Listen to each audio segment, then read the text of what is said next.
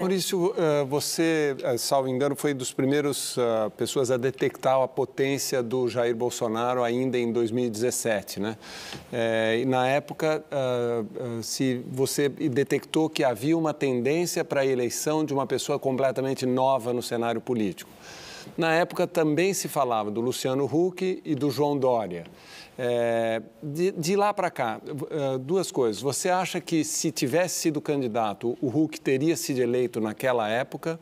É, e, em segundo lugar, esse sentimento de eu quero alguém novo na política, agora que o Bolsonaro não é mais, se transfere para alguém ou o Bolsonaro se agarrou uh, nesse eleitor que queria algo novo?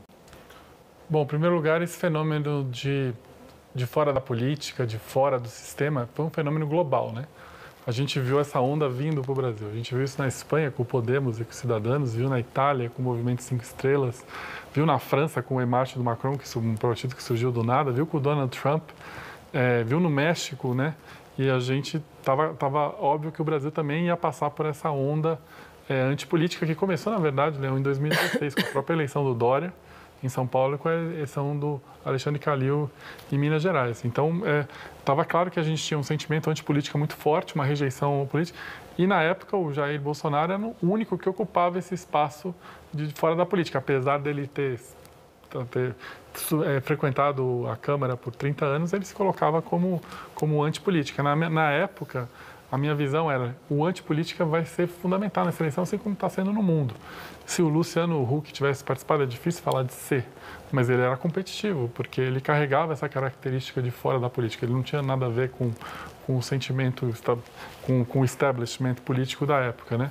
E, só que isso mudou. Inclusive, é, uma das grandes dificuldades desses grupos que se colocam de fora da política é quando eles chegam no poder. E isso aconteceu no mundo inteiro. Você vê que o, diminu... o Podemos e os cidadãos encolheram. É, o Cinco Estrelas não faz parte mais do, do, governo da Itália e perdeu Turim, perdeu Roma. O, o, Macron teve uma dificuldade enorme de se reeleger e, mais importante, perdeu o Congresso, né? na, na eleição que era um Congresso debate. O Donald Trump perdeu.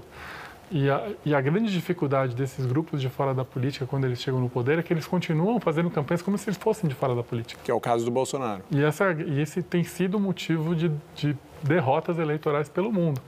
E, e, essa foi uma grande dificuldade do Trump, por exemplo.